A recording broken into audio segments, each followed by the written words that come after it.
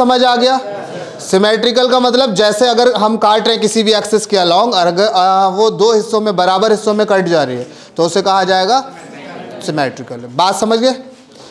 तो जो पॉइंट है वो ये है कि अगर कोई बॉडी हमारी एक्स एक्सिस के अबाउट सिमेट्रिकल है, अगर कोई बॉडी हमारी एक्स एक्सिस के अबाउट सिमेट्रिकल है तो एक्स सेंटर ऑफ़ मास ही निकालना है। वाई नहीं निकालना। वाई एक्सिस के अबाउट सिमेट्रिकल है तो? वाई सेंटर ऑफ़ मास निकाल रहे हैं? एक्स नहीं निकालना? अगर दोनों के अबाउट सिमेट्रिकल है तो दोनों निकालना है। और दोनों के अबाउट सिमेट्रिकल नहीं है तो भी दोनों निकालना है। हाँ। समझ लो क्या कहना चाह रहे हैं? अरे मतलब मज़ाक नहीं है, सच्ची है। एक्स एक्सिस के अबाउट सिमेट्रिकल तो सिर्फ़ एक्स कंपोनेंट निकाला जाएगा, सेंटर ऑफ़ मास का, वाई वाला नहीं निकाला जाएगा। वाई एक्सिस के अबाउट सिमेट्रिकल तो? वाई कंपोनेंट निकालेंगे एक्स कंपोनेंट नहीं निकालेंगे मतलब वो ज़ीरो ही होगा ऑब्वियसली है ना? अगर दोनों के अबाउट सिमेट्रिकल है तो तो दोनों निकालेंगे। और अगर दोनों के अबाउट सिमेट्रिकल नहीं है तब भी दोनों निकालेंगे। मैं तुम्हें कुछ अल्फ़ाबेट्स दिखा रहा हूँ जो सिमेट्रिकल ये सिमेट्री वाली जो प्रॉब्लम्स हैं उसमें आएँगी तुम्हारे आ, काम में आएँगी।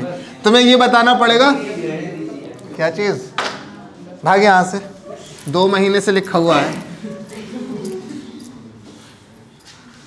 सुनो ज़रा जैसे मेरे पास में यहाँ पर एक लेटर है। ओए थोड़ा सा स्पीड में।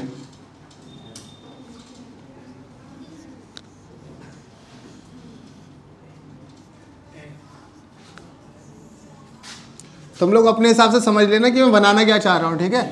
और उसको ये मान के चलना कि ये सिमेट्री बना रहा। मेरे बनाने में थोड़ा सा स्पीड है इसलिए ऐसा लग रहा है। आ, तुम लोग ढंग से देखना।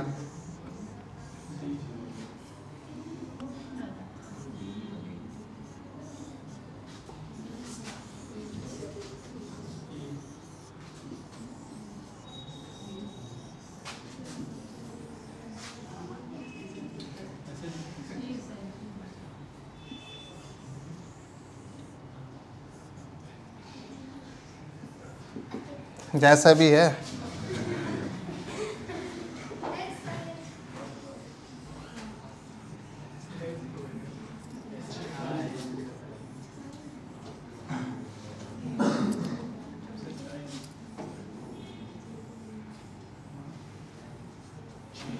समझ लो और भी बना सकते पूरे जैड तक बना सकते तुमसे तो तेज़ी हूँ मैं इन मामलों में।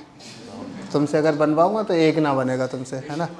सुनो ए को अगर मैं वाई एक्सिस में काटूं वाई एक्सिस में काटूं तो सिमेट्रिकल है? एक्स एक्सिस में है? तो यहाँ पर ए के लिए अपना को क्या निकालना पड़ेगा सिर्फ़? बी वाले में देखो। एक्स एक्सिस में ये बराबर से कट जाएगा तो X centre of mass C वाले में बोलो। एक्स सेंटर ऑफ़ मास अरे हाँ या ना? डी वाले में। X centre of mass E वाले में। X centre of mass F वाले में। दोनों नहीं है, ना तो क्या निकालना पड़ेगा? एक्स भी निकालना पड़ेगा और वाई भी निकालना। जी वाला बोलो। दोनों नहीं है एक्स सेंटर ऑफ़ मास भी निकालना पड़ेगा और वाई सेंटर ऑफ़ मास भी निकालना पड़ेगा। एच बोलो। दोनों के एक्स के भी और वाई के भी। दोनों के अबाउट सिमेट्रिकल है, यानी कि एक्स सेंटर ऑफ़ मास और Y centre of mass I बोलो, दोनों के अबाउट है। समझ में आया? अल्फ़ाबेट में खेल समझ में आया? तो कहाँ कौन से निकालना ये समझ आ गया। तो आज के लिए बस इतना ही। कल का क्लास इसका लास्ट होगा और सारे के सारे न्यूमेरिकल जो भी रह गए हैं, वो निपटा डालो इसके। सेंटर ऑफ़ मास का लास्ट होगा, फिर उसके बाद कोलिजन भी है अपना। कोलिजन और मोमेंटम कंजर्वेशन भी है। तो आज के लिए बस इतना ही। मिलते हैं अगले क्लास में। तब तक के लिए धन्यवाद।